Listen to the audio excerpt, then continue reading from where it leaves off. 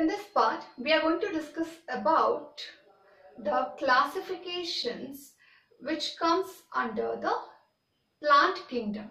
In the previous class, we discussed about the systems of classification and we came to know that about three different types of classification such as artificial system of classification, natural system of classification and the phylogenetic system of classification. In this class, we shall know into how many uh, categories the plant kingdom is divided. The plants are classified into different groups such as algae, algae, bryophytes, algae, bryophytes, pteridophytes,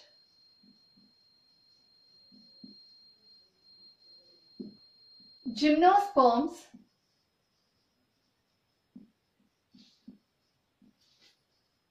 and angiosperms. The plants are grouped or they're classified into different groups such as algae, bryophytes, pteridophytes, gymnosperms and angiosperms. This is how the algae are uh, sorry this is how the plants are categorized. And we shall take up one by one. Firstly we are taking or we are studying about the algae. Algae these are the plants or the autotrophic organisms which are commonly found in the wet or in the aquatic regions. Firstly, the algae are microscopic in nature. The algae are microscopic. As soon as we are mentioning it as microscopic, they are nothing but the unicellular organisms. The algae are unicellular and they are unicellular. Example is Chlamydomonas. We will get many examples here. Before entering into the examples, we shall see some basic characteristics of the algae. The algae are unicellular organisms and they are microscopic in nature. Algae are chlorophyllous. They are chlorophyllous, simple and thalloid in nature and they are autotrophic organisms or autotrophic species. Means what? Chlorophyllous means these are the living organisms which consist of chlorophyll pigments in them. As soon as they are uh, having naturally the chlorophyll uh, pigments, they are capable of producing or synthesizing their own food and hence they can be called as uh, they are autotrophs or autotrophic in nature. I repeat, the algae are chlorophyllous and they are simple. Their body nature is not more complicated or they are not much developed because they are the unicellular structures. Algae are simple and thalloid in nature and they are also considered as autotrophic. They can be categorized as the autotrophic organisms and large number of algae are found in the aquatic medium. Either it may be the freshwater medium or the marine forms. The freshwater aquatic medium is nothing but the ponds, lakes, rivers. Freshwaters are nothing but ponds, lake, rivers, etc. These are the freshwater forms. Even we can also find algae in freshwater medium and marine water form is nothing but there we that is in ocean and seas also we can observe ocean sea. Also we can find the algae so what we can say or what we can conclude here is the algae are found both in aquatic that is freshwater as well as the marine aquatic medium. And the plant body of the algae, the algae body is thallus or it is thalloid in nature.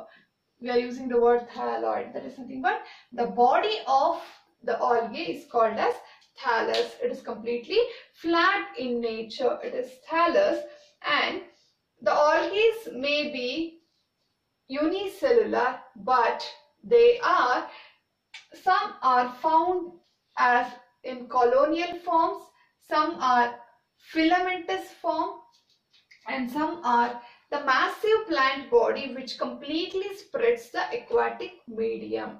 The first one is colonial forms. That means the algae which are living in colony or in group and such type of algae are called as colonial forms.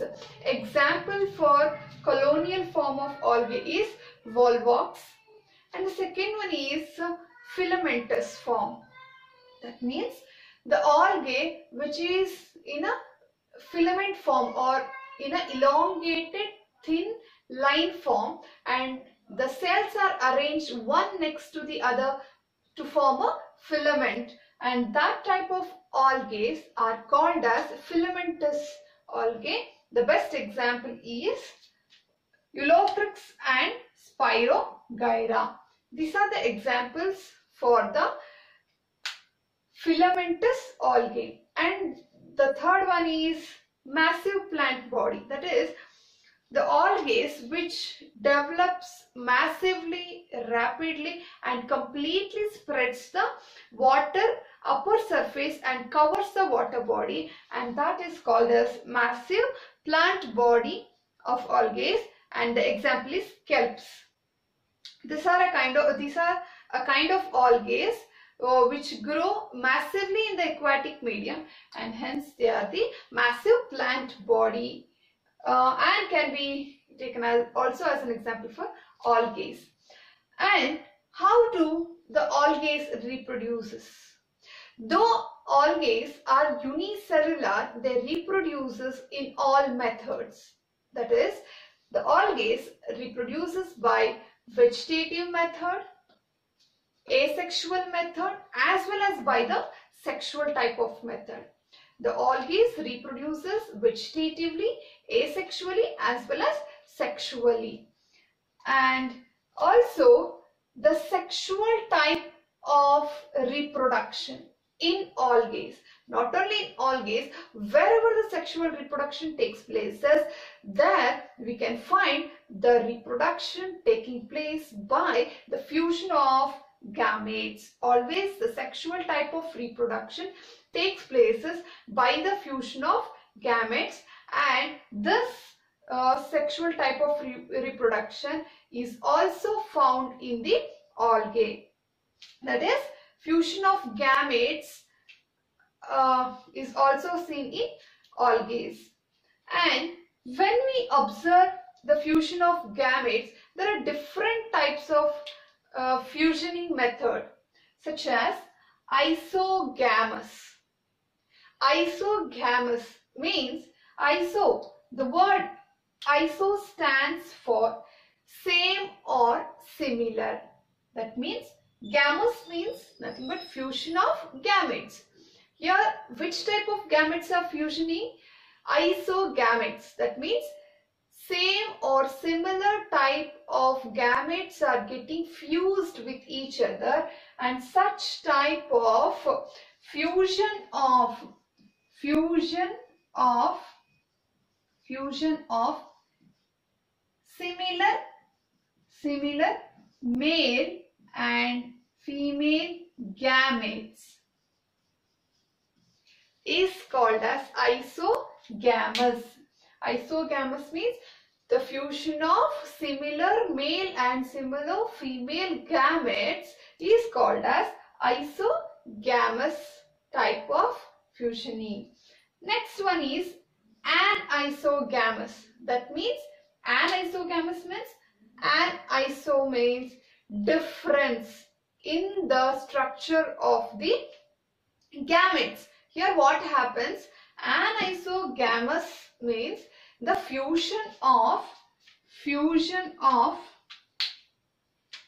fusion of fusion of dissimilar fusion of dissimilar dissimilar male and female gametes dissimilar male and female gametes are fused with each other to complete the process of fertilization that we call it as anisogamous. Anisogamous means the fusion of dissimilar male and female gametes is called as anisogamous type of fusioning. Next comes the oogamous. Here both the gametes that is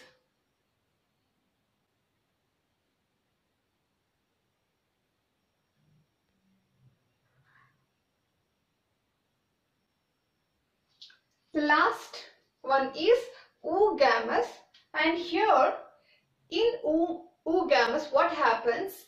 The fusion of fusion of fusion of more small small motile male gamete the fusion of small motile male gamete takes places with the non-motile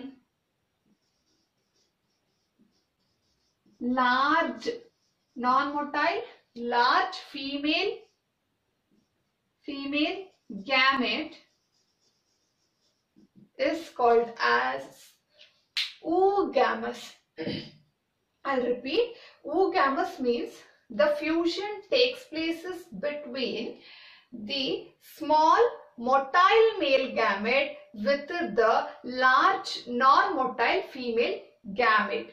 The fusion occurs between these two gametes and such type of fusioning is called as oogamous. Here we are using the term small and motile male gamete. Small means here the male gamete is smaller in size compared to the female gamete. And also motile means the male gamete is capable of transferring or it is capable of moving from one place to another. That is the male gamete. Small motile male gamete. When we speak about the female gamete it is large but non-motile female gamete. Large.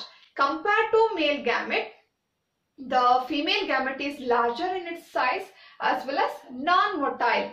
It is not capable of moving or transferring from one place to another.